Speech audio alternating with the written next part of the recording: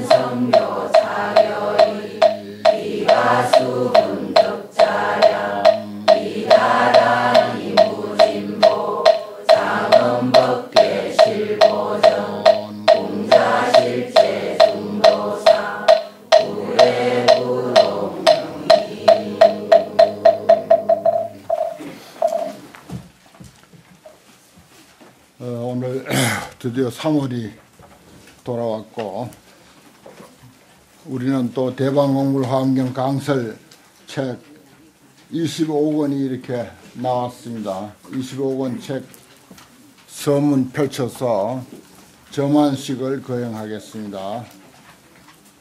우리는 매달 한 번씩 점안식을 합니다. 다른 절에서는 점안식 어, 10년에 한 번 할까 말까 하는 점안식을 우리는 매달 한 번씩 이렇게 합니다. 그것도 환경을 가지고 이렇게 점안식을 한다고 하는 거, 어, 세상에 이렇게 어, 수준 높은 법회가 또 있을까? 이렇게 수준 높은 그런 그 어, 사찰이 또 있을까? 어, 별로 뭐 사찰 행세도 안 하지만은 어, 그렇습니다. 어, 제가 뭐 아, 한국 불교 상황을 쭉 돌아봐서 잘 알지만은 또 여러분들은 더 잘 알죠. 신도님들은 뭐 사찰 순례를 얼마나 많이 합니까? 아, 그래서 사찰 사정들을 잘 아실 것입니다. 그런데 참, 아, 달에 한 번씩, 이, 에, 그야말로 대방 공물 환경을 가지고 점안식을 한다고 하는 거, 이거 상당히, 에, 존중하고, 어, 아끼고, 또 소중하게 에, 마음에 간직해야 할 줄 압니다. 자, 그러면 서문을 같이 읽겠습니다. 불자들이여 보살 마살이 일체 그릇을 능히 보시하느니라 이른바 황금 그릇에 여러 가지 보배를 가득 담고 백은 그릇에 여러 가지 기묘한 보배를 가득 담고 유리 그릇에 갖가지 보배를 가득 담고 화려 그릇에 한량없는 보배 장음거리를 가득 담고 자그 그릇에 붉은 진주를 가득 담았나이다. 만호 그릇에 산호와 마이주 보배를 가득 담고 배곡 그릇에 아름다운 음식을 가득 담고 전단 그릇에 하늘 의복을 가득 담고 금강 그릇에 여러 가지 묘한 향을 가득 담고 무량무수한 가지각색 보배 그릇에 무량무수한 가지각색 보배를 가득 담았느니라. 이와 같은 일체 보배 그릇을 꼭 부처님께 보시하니 부처님의 복받이 부사의 함을 믿는 연고입니다. 보살께 보시하나니 전식을 만나기 어려움을 아는 연고입니다. 거룩한 스님께 보시하나니 부처님 법이 세상에 오래 머물게 하는 연고입니다. 성문과 벽지불에게 보시하나니 모든 성인들에게 청정한 신심을 내는 연고입니다. 부모에게 보시하나니 존중하는 연고입니다. 스승에게 보시하나니 항상 인도하사 성인의 가르침을 의지하여 공덕을 닦게 하는 연고입니다. 하열하고 빈궁하고 외로운 이에게 보시하나니 대자 대비한 눈으로 중생들을 흥하게 보는 연고는 과거 미래 현재의 모든 곳의 보시 바람 일가를 만족해 하려는 연구입니다. 여러 가지 물건으로 모든 사람에게 보시하되 마침내 모든 중생들을 버리지 아니하는 연구입니다. 네, 오늘은 또 어, 그동안 아, 중단했던 엘리베이터 보배 그릇에 우리 화음 행자들을 가득 가득 담고 이렇게 잘 올라오고 잘 내려갑니다. 여러분들 많이 이용해 주십시오. 예. 또 여기는 예. 연세 높으신 분들도 많고 어, 몸이 불편한 분도 많았는데 늘 그렇게 마음에 그런 좀 어, 찜찜했어요. 그러다가 어, 내가 11월 말에 넘어져 가지고 어, 한 두 달 동안 고생하면서 그때 이제 아이고 이건 엘리베이터를 하라고 하는 그 신호인갑다 이렇게 알고는 비로소 엘리베이터를 이제 어, 하게 됐습니다. 어.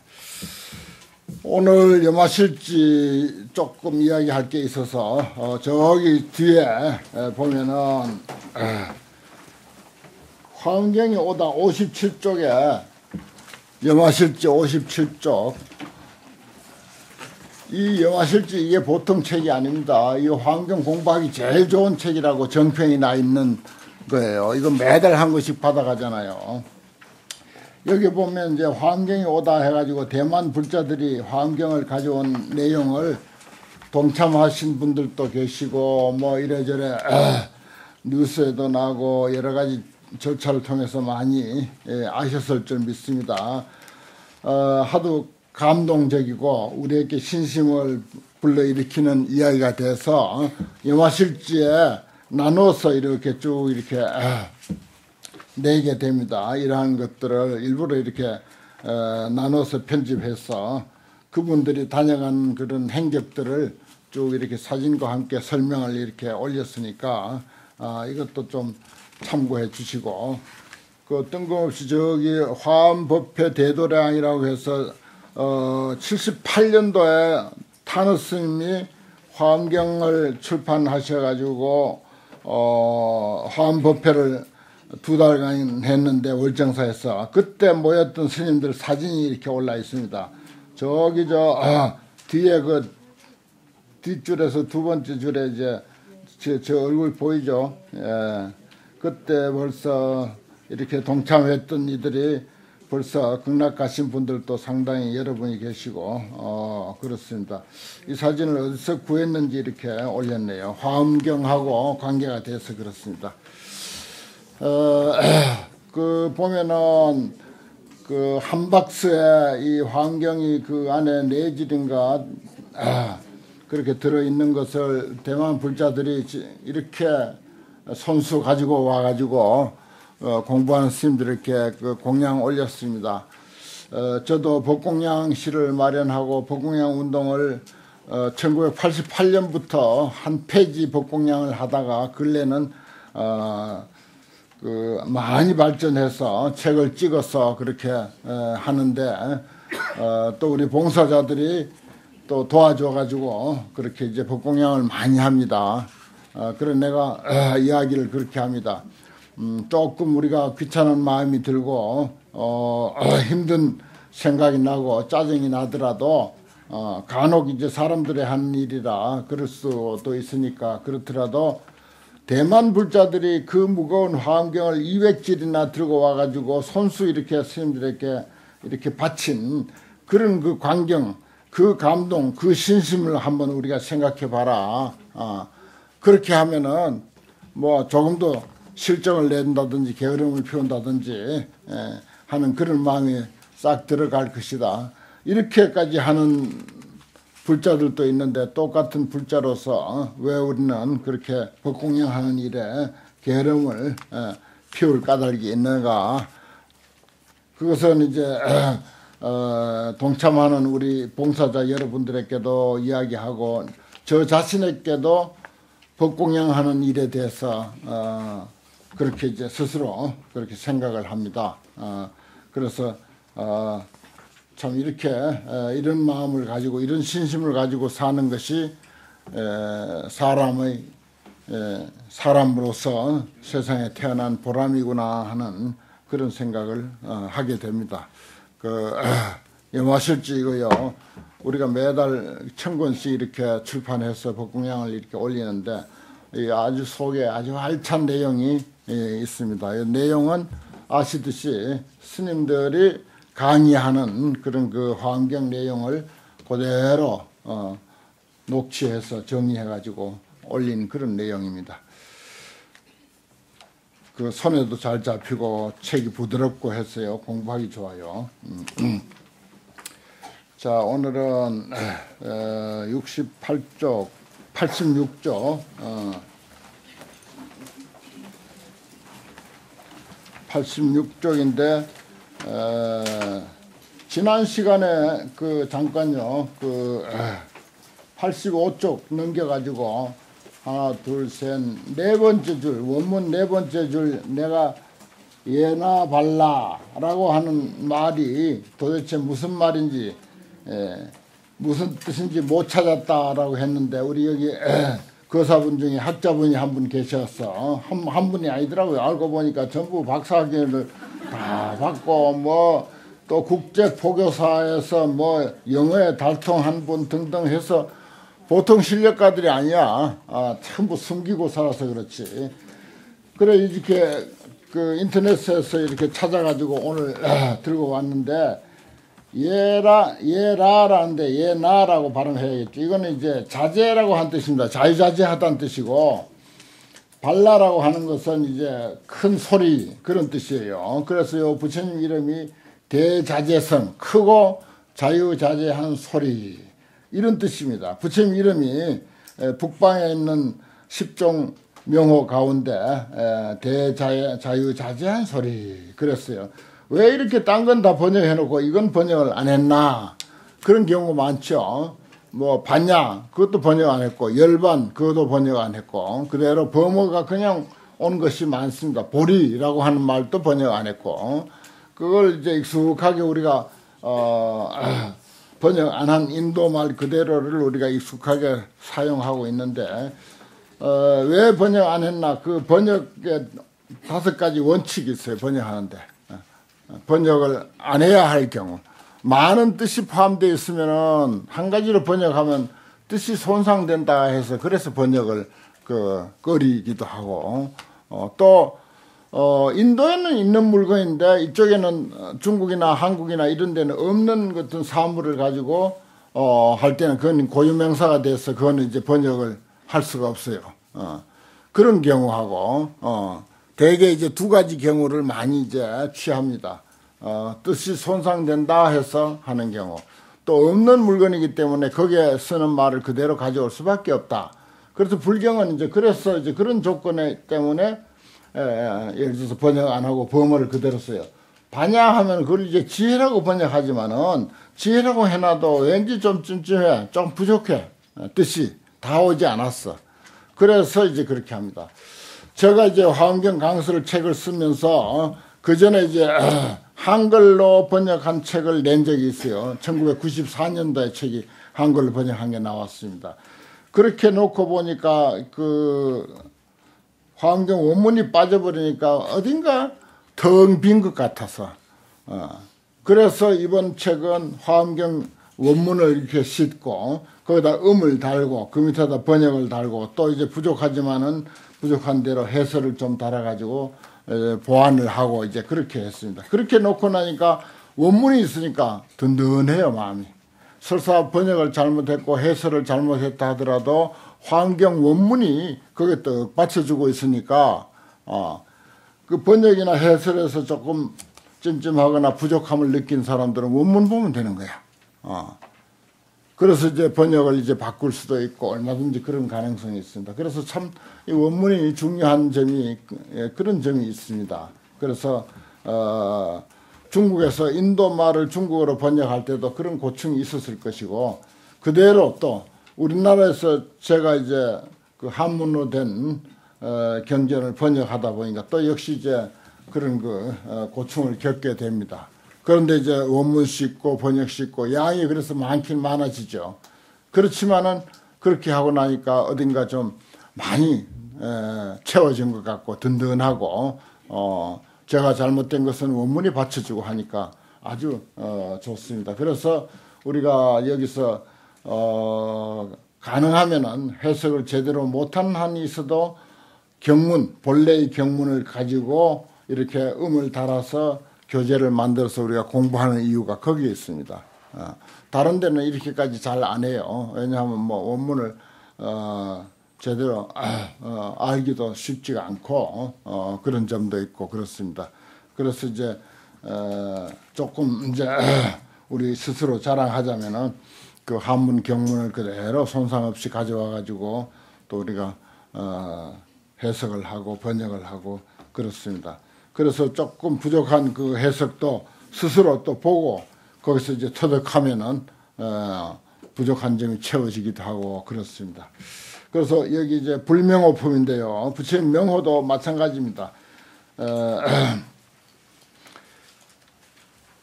여러 가지 그 이름을 가지고 이렇게 하는 것도 부처님 명호를 한두 가지 이름 가지고 도저히 부처님이 설명이